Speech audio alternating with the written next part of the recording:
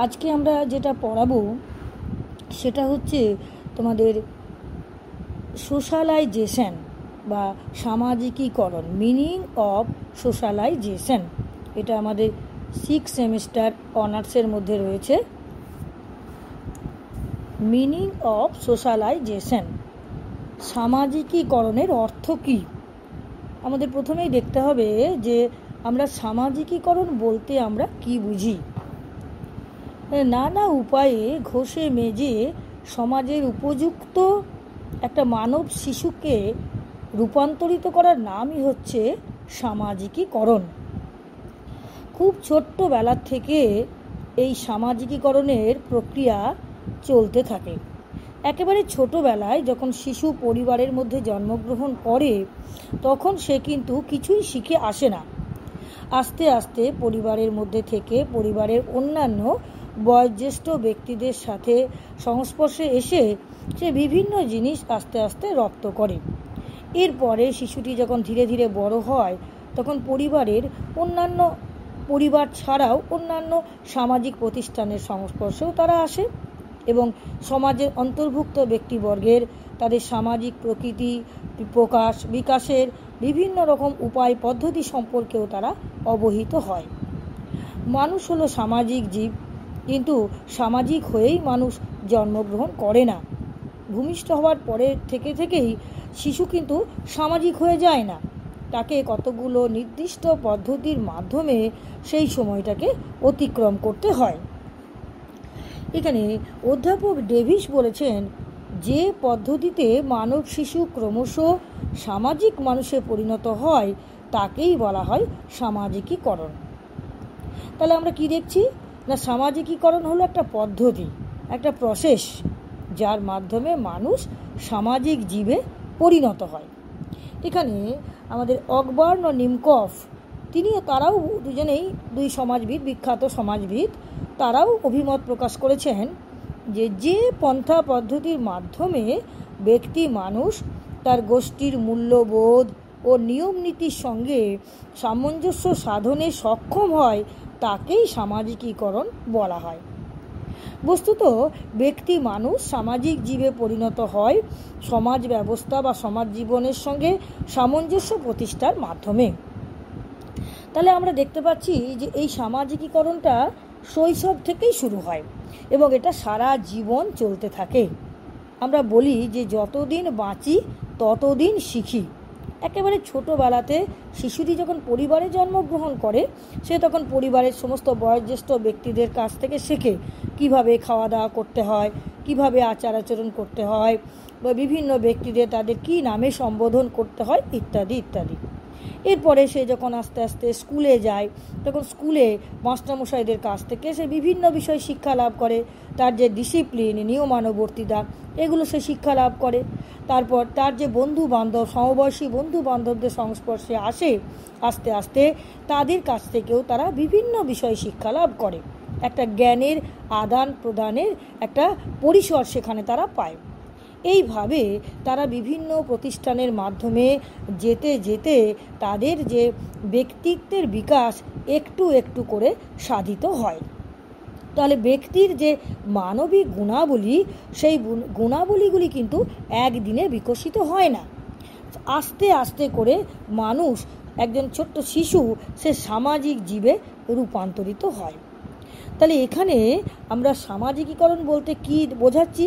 না, এখানে আমরা দেখতে পাচ্ছি যে যে পন্থা পদ্ধতির মাধ্যমে ব্যক্তি তার গোষ্ঠীর মূল্যবোধ, নিয়মাবলী, সামাজিক অনুশাসন ইত্যাদি শিক্ষা লাভ করে, ইত্যাদির সাথে সামঞ্জস্য বজায় রাখার চেষ্টা করে, তখনই তার সামাজিকীকরণ সম্পূর্ণ হয়েছে বলে বলা হয়। এখন এই যে সামাজিকীকরণ বা সোশ্যালাইজেশন, এটাকে আবার আরেকটা নামেও ডাকা হয়, সেটাকে বলা হয় সোশ্যাল ইনডক্ট্রিনেশন, যাকে বলা হয় সামাজিক দীক্ষিতকরণ। এখানে আমরা বিদ্যাভূষণ বিদ্যাভূষণ ও সচদেব হ্যাঁ অধ্যাপক বিদ্যাভূষণ ও সচদেব, তারা সামাজিকীকরণের একটা সুন্দর সংজ্ঞা দিয়েছেন।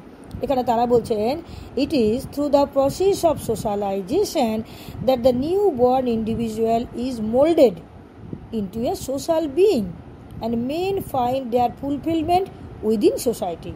Man becomes what he is but socialization. সোশ্যালাইজেশনের মাধ্যমেই কিন্তু একটি শিশু সে পরিপূর্ণ ব্যক্তি মানুষে রূপান্তরিত হয় অর্থাৎ সামাজিকীকরণ হচ্ছে এমন একটা পন্থা বা পদ্ধতি যার মাধ্যমে ব্যক্তি সমাজে প্রচলিত প্রথা, মূল্যবোধ রীতি নীতি আচার, আচরণ সংক্ষেপে আমরা বলতে পারি যে সমগ্র সমাজের সঙ্গে সঙ্গতি সাধনের যে উপায় ব্যবস্থা, সে সম্পর্কে তারা অভিজ্ঞতা অর্জন করে। যেমন দেখো, তুমি যদি কোনো একটা শিশু জন্মাবার পরের থেকেই তাকে যদি পরিবারের বাইরে যেতে না দাও সে পরিবারের বাইরে গেল না। তাহলে পরিবারের মধ্যে সে পরিবারে যেটুকু শিক্ষা লাভ করার, সেটুকুও শিখলো। কিন্তু পরিবারের বাইরেও আরও বৃহত্তর জগৎ রয়েছে, যেখান থেকে তার অনেক কিছু শেখার আছে, অনেক অভিজ্ঞতা অর্জন করার আছে। কিন্তু তাকে আমরা বাইরে যেতেই দিলাম না। তাহলে সেখানে কি দেখব আমরা? যে তার সামাজিকীকরণ কিন্তু সম্পূর্ণ হবে না। হয়তো দেখা গেল সে পরিবারের মধ্যে থেকেই লেখাপড়া করল কোনো রকমের স্কুলে যায় আর স্কুল থেকে বাড়ি চলে আসে আর কারোর সাথে মেলামেশা করে না। এরপরে যখন হায়ার স্টাডিজ নিতে সে বাইরে যাবে বা চাকরি বাকরি করবে বা তাকে হস্টেলে থাকতে হবে, সেখানে সে দেখতে পাবো যে সেই শিশুটি অন্যান্য বন্ধু বান্ধবদের সাথে, তার কলিগদের সাথে তারা কিন্তু অ্যাডজাস্ট করতে পারছে না।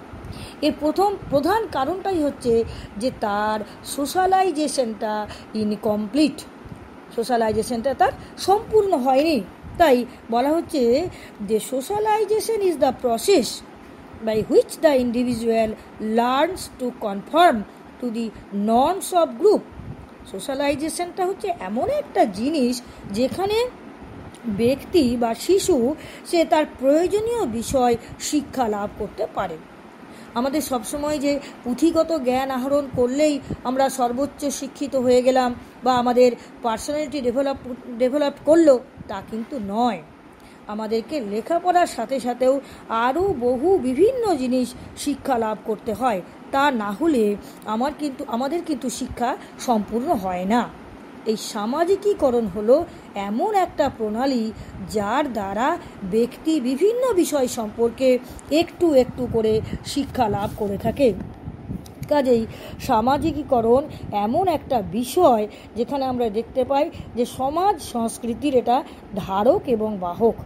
সামাজিকীকরণ ব্যতি রেখে কোনো শিশু পরিপূর্ণ ব্যক্তিত্বের বিকাশ সাধন করতে পারে না। সকল সমাজেই এই সামাজিকীকরণের গুরুত্ব হচ্ছে অত্যন্ত বিশেষ, বেশি। এখানে আমরা একটা কথা বলতে পারি যে এই সামাজিকীকরণের মাধ্যমেই কিন্তু ব্যক্তি সে অপরের সাথে মেলামেশা করা, সহজ ও স্বচ্ছন্দভাবে সম্পর্ক স্থাপন করা, এগুলো সে শিক্ষা লাভ করে।